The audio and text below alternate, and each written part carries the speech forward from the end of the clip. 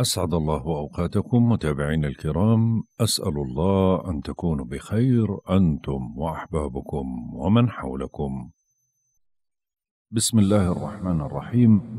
ربنا لا تزغ قلوبنا بعد إذ هديتنا وهب لنا من لدنك رحمة إنك أنت الوهاب.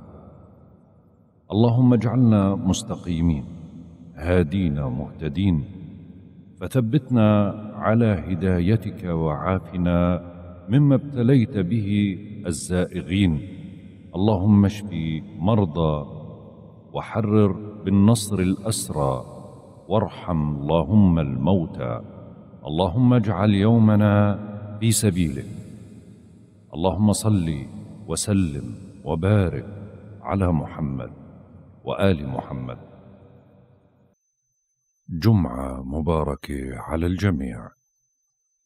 طبعا اليوم توقعاتنا ليوم الجمعة عشرين كانون ثاني يناير وبرضو اليوم عنا انتقال الشمس اللي راح تنتقل من برج الجدي لبرج الدلو عشان هيك بنقول لجميع مواليد برج الدلو كل عام وأنتم بكل خير طبعا القمر الآن موجود في منزلة البلدة وهي منزلة للثبات والربح والسلامة ورح يظل القمر موجود في هاي المنزلة لغاية الساعة سبعة وإحدى دقيقة من مساء اليوم الخميس.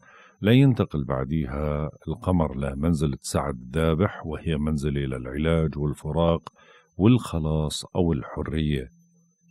وزي ما ذكرنا يوم أمس القمر الآن موجود في برج القوس وفي عنا خلو مسار لسه ما انتقل بالكامل آه، لبرج الجدي. خلو المسار بدأ الساعة عشرة وثمان دقائق صباحا من صباح اليوم الخميس ورح يستمر خلو المسار لغاية الساعة سبعة وإحدى دقيقة مساء من مساء اليوم الخميس اللي هو موعد بث الحلقة. لا ينتقل القمر بعديها ويستقر في برج الجدي. هذا بيعني أنه الآن موعد بث الحلقة ولغاية الساعة سبعة وإحدى دقيقة فترة لا تصلح للبدء بأي عمل جديد أو مهم مثل توقيع عقد أو خطوبة أو زواج أو شراء شيء ثمين بل إكمال العمل اللي بدأنا فيه قبل خلو المسار. الساعة سبعة وإحدى عشر دقيقة مساء القمر خلص بكون انتقل واستقر في برج الجدي. عشان هيك بنعود لطبيعتنا الجادة نحاول إنجاز عمل متراكم بنجد أنه عنصر أنه الأمور ما بتصير معنا بسهولة أو ممكن تسيطر علينا روح التشاؤم أو على البعض منا. علينا الاجتهاد أكثر بوسعنا الشروع بعمل جديد أو شراء تحفة أثرية أو البدء بحمية أو مراجعة أو آه، عمل شيء له علاقة بالتأمينات. يا مراجعة شركة تأمين يا عمل تأمين يعني أمور من هذا القبيل. بالنسبة للزوايا الفلكية طبعا اليوم في عنا زوايا جديدة ظهرت على الساحة. أول زاوية رح نحكي عنها هي زاوية تسديس إيجابية بين الشمس وبين المشتري وهي تأثيراتها رح تستمر لغاية 29 واحد. طبعا هي من اليوم 20 واحد لغاية 29 واحد ذروتها يوم 25 واحد الساعة 31 دقيقة صباحا. هاي الزاوية بتدفع بحظوظنا بصورة عامة وبتقوي إرادتنا وبتمنحنا الثقة بالنفس والتسامح والميل لحسن التصرف. برضو هذا الاتصال بيجلب لنا بعض الحظوظ والنجاح وإمكانية أنه يكون لنا دور اجتماعي مهم. برضو بيحقق لنا في حياتنا المهنية والمادية بعض المكاسب وممكن تربطنا علاقات مهمة ونافعة في الفترة هاي. أما بالنسبة للزاوية التي تليها وهي زاوية اقتران سلبية بين الزهرة وبين زحل. وهاي طبعا اليوم بتبدأ آه، يعني آه، تأثيراتها لغاية يوم 25 واحد ذروتها يوم 22 واحد الساعة 10 و12 دقيقة مساء. بسبب هاي الزاوية بتنقطع العلاقات العاطفية الضعيفة لغير رجعة. طبعا سبب الانقطاع بيكون الغيرة حب التملك ميلنا للاكتئاب ونزاع نزاعات مع المحيط. أما بالنسبة للزاوية التي تليها وهي زاوية الاقتران السلبية اللي بين الشمس وبين بلوتو وهاي تأثيراتها مستمرة من يوم 15 واحد ليوم 22 واحد. طبعا بتثور أعمال من العنف ومواجهات إلها علاقة بالنيران والمعادن وبتعزز التسلط عند البعض آه، اللي بيحاولوا فرض سيطرتهم على الآخرين وبتدل على وجود مؤامرات ضد حكومة ما سواء داخلية أو خارجية وقيم الحكومة بالتعبئة ضد بعض الجماعات الإرهابية اللي بتحاول زعزعة الأمن والاستقرار. هنالك احتمال وقوع حوادث كالحرائق والظواهر الطبيعية كالزلازل براكين التعرية والأمور المناخية. أما بالنسبة للزاوية التي تليها وهي زاوية تربيع سلبية بين القمر وبين المشتري وهاي راح تكون ذروتها الساعة واحدة وتسعة وعشرين دقيقة صباحا بتوقيت غرينتش يعني من الآن تأثيراتها بتبدأ وبتستمر حتى تمام ساعة الظهر. يجب توخي الحذر ممن يحاول استغلال طيبتنا وكرمنا. أما بالنسبة للحدث اللي ذكرناه اللي هو انتقال الشمس لبرج الدلو الساعة 8 و29 دقيقة صباحا بتوقيت غرينتش راح تنتقل الشمس اليوم الجمعة. لبرج الدلو راح تضل لغاية مساء يوم السبت 18 2 آه، يعني الساعة 10 و34 دقيقة مساء بتوقيت غرينتش. خلال هاي الفترة المذكورة ما بين 20 واحد و 18 2 بيشعر مواليد برج الدلو بتحسن بيطرأ على صحتهم تدريجيا. بعد أنا يعني بعد إنهم اجتازوا فترة غير مريحة آه، بالفترة الماضية اللي هم الشهرين اللي مضوا بصورة عامة وجود الشمس في برج الدلو بيترك أثر إيجابي على مواليد الأبراج الهوائية والنارية الجوزاء والميزان والحمل والأسد طبعا أقلهم الأسد والقوس. أكثر الأبراج عرضة للمتاعب الصحية والضغط وهم مواليد برج الحوت والعذراء وأيضا مواليد برج الأسد لأنه بعطيهم إيجابية على مستوى الشراكة ولكن بضغطهم على مستوى الطاقة أنه طاقتهم بتكون ضعيفة. طبعا الحلقة الكاملة اللي فيها عن انتقال الشمس وإيجابيته سلبيته زوايا الفلكية وتأثيراتها على جميع الأبراج موجودة على القناة بتقدروا ترجعوا وتسمعوها لأنها هاي بتغني عن توقعات شهر كامل. أما بالنسبة للزاوية التي تليها وهي زاوية اقتران إيجابية بين القمر وبين عطارد وهاي راح تكون آه، ذروتها الساعة ثمانية ونص آه، أو ثمانية وثلاثين دقيقة صباحا بتوقيت غرينتش يعني تأثيراتها طيلة النهار بنشعر بقوة الفكر والقدرة على الإدراك الجيد للأمور بالإضافة إلى نشاط الذاكرة وسرعة البديهة. أما بالنسبة للزاوية التي تليها وهي زاوية تثليث إيجابية بين القمر وبين أورانوس وهي راح تكون ذروتها الساعة 6 و54 دقيقة. مساء بتوقيت غرينتش يعني تأثيراتها من ساعات الظهر وبتستمر لما بعد منتصف الليل. بتعزز قدرتنا على استغلال المناسبات الاجتماعية والاستفادة منها. ممكن يفاجئنا البعض بشيء غير متوقع وممكن يصدر منا ما هو غير متوقع تجاه البعض. كذلك. بالنسبة للأعضاء اللي في جسمنا الأكثر حساسية خلال هذا اليوم طبعا عنا الركبتين والمفاصل العمود الفقري عضلات العمود الفقري الرضفة والعظام الأسنان الأوتار الأربطة الجلد الشعر الطحال جهاز التوازن. عشان هيك هذا اليوم يعني يوصى بإجراء العملية العمليات الجراحية دون الأعضاء اللي ذكرناها وهذا اليوم غير مناسب لعمليات التجميل مثل الحقن والجراحة ولا يصلح لإزالة الشعر الزائد ويصلح ولا يصلح لقص الشعر التجميلي والصبغ والحنة ولا يصلح للقص العلاجي. بالنسبة للقمر بما أنه موجود في برج الجدي خلو المسار القادم بيبدأ يوم السبت 21 واحد بيبدأ في تمام الساعة 3 و51 دقيقة عصرا وبيستمر حتى تمام الساعة 6 و28 دقيقة مساء بتوقيت غرينتش ليستقر القمر بعدها في برج الدلو. أما بالنسبة لعمر القمر عمر القمر انحسار الهلال عمره 27 يوم في تمام الساعة ثلاثة وتسعة عشر دقيقة صباحا بتوقيت غرينتش بصير عمره 28 يوم نسبة الإضاءة 7%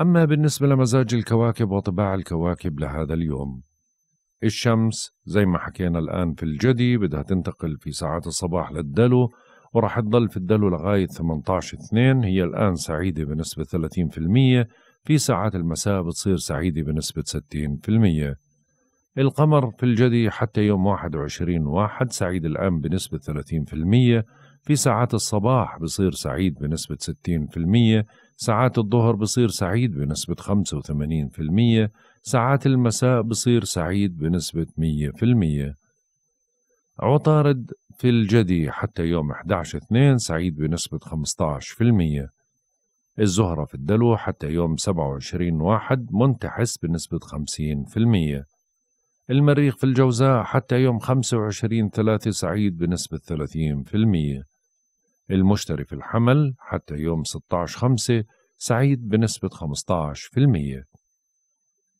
زحل في الدلو حتى يوم 7 ثلاثة سعيد بنسبة 15% وأورانوس في الثورة بيتراجع حتى يوم 22 واحد منتحس بنسبة 10% نبتون في الحوت حتى يوم 30 ستة سعيد بنسبة 15% وبلوتو في الجدي حتى يوم 23 ثلاثة سعيد بنسبة 15%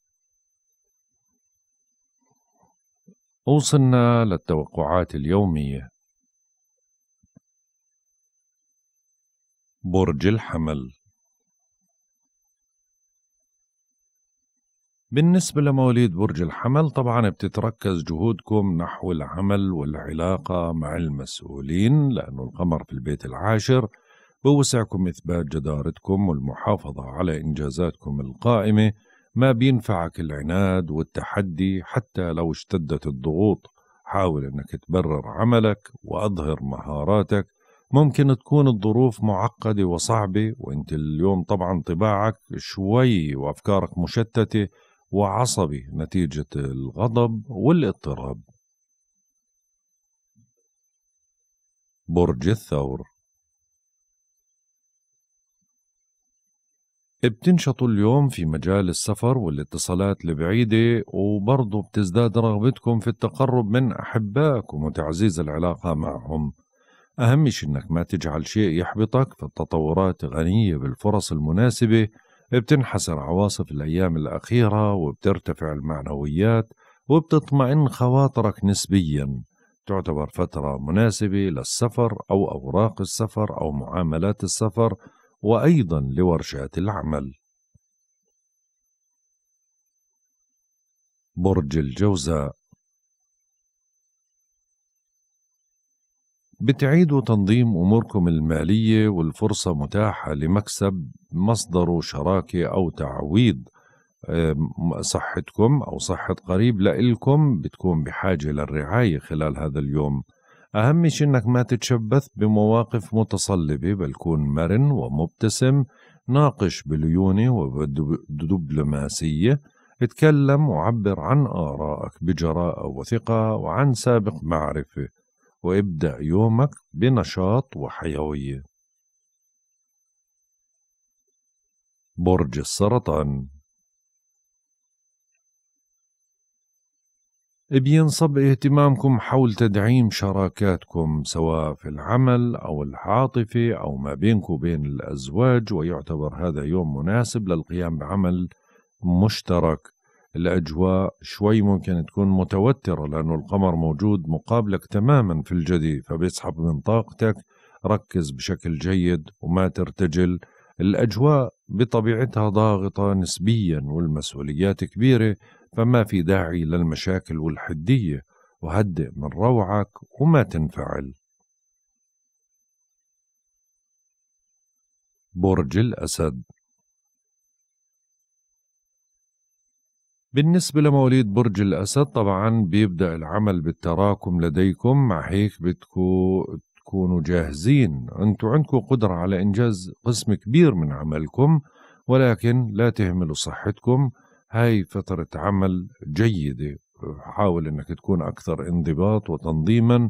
ممكن تنشغل بأمور صحية أو رياضية. وحافظ على استقرار وضعك الصحي. ممكن تقلق بشأن أحد المعاونين أو أحد الأصدقاء. وممكن يكون في نوع من أنواع العمل الجديد عندك خلال هذا اليوم. برج العذراء.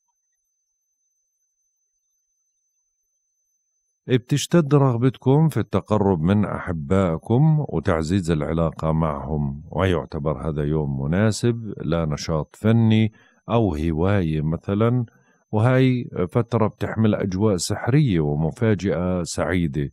بتكون نظرتك للحياة متفائلة.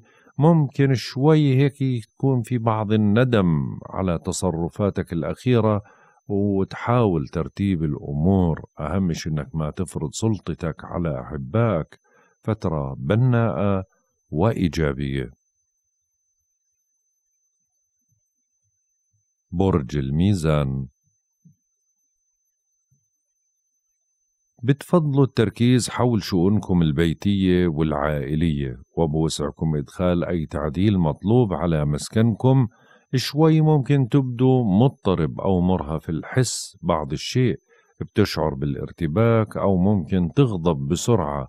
فعشان هيك بدك تتجنب الخصام والجدال كليا ومن المحبذ عدم إلقاء اللوم على الأحبة. اليوم راح يكون في كثير من الأعمال والانشغالات المنزلية. برج العقرب بتكثر عندكم اليوم التنقلات والاتصالات والنقاشات والحوارات ويعتبر هذا يوم مناسب لإجتياز امتحان أو إجراء مقابلة.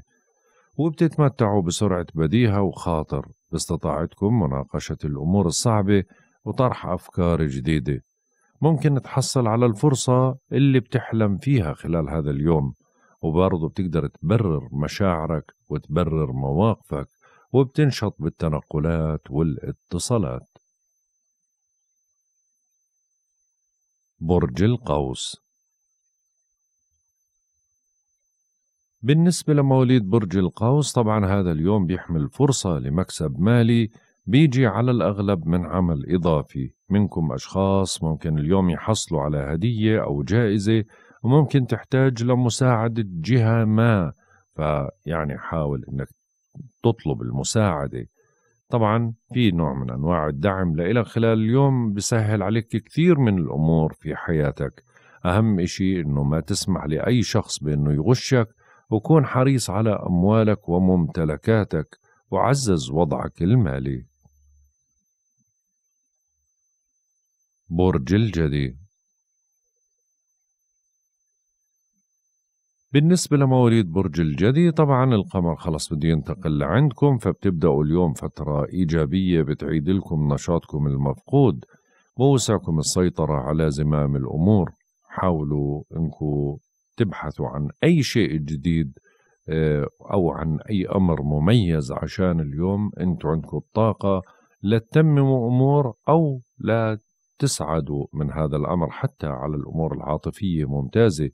بتعيش فترة واعدة من الأفراح والنجاحات وتعتبر هاي فترة من أفضل الفترات خلال هذا الشهر. حاول أنك تدخل التنويع لحياتك الشخصية في نوع من أنواع الانفراج والتسوية. برج الدلو. بتشعروا بالتعب بينال منكم لأنه القمر موجود في بيت المتاعب فعشان هيك بتفقدوا رغبتكم في مواجهة مشاغلكم وإنجاز الكثير منها. حاولوا إنه آه، هيك تخلدوا للراحة من وقت لآخر. هاي فترة محبطة وفارغة تماما من كل خبر وحسم. حاول إنك أنت تركز بشكل جيد خلال هذا اليوم. ما تتخذ قرارات حاسمة وما تفقد سيطرتك على أعصابك. ممكن تواجه بعض الضغوط والعراقيل والامتحانات الصعبة أو تخسر صفقة تجارية أو حد يوعدك بشيء وما يوفي أو تحزن لخبر ما. فما في داعي للتسرع كلها يومين والقمر بصير عندك. برج الحوت بتنشطوا اجتماعيا وبتلتقوا الأصدقاء ومنكم أشخاص اليوم ممكن يشاركوا في مناسبة سعيدة وبتميلوا للتواصل مع الآخرين وممكن تنجح في حشد تأييد أو دعم لقضيتك.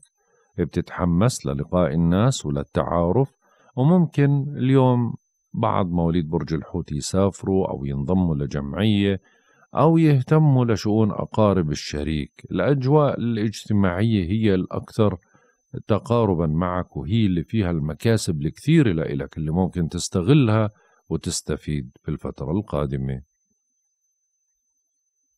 هيك بنكون انتهينا من توقعاتنا لهذا اليوم. والله أعلم. يا رضا الله ورضا الوالدين. سبحانك اللهم وبحمدك. أشهد أن لا إله إلا أنت. أستغفرك وأتوب إليك. أترككم في رعاية الله وحفظه. إلى اللقاء.